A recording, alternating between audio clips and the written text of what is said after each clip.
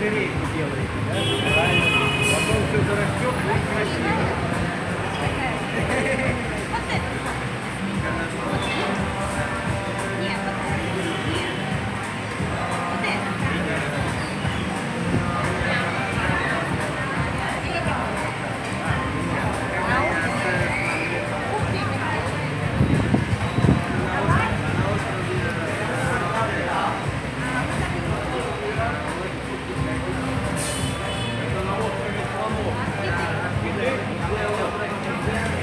Потому что в прошлом году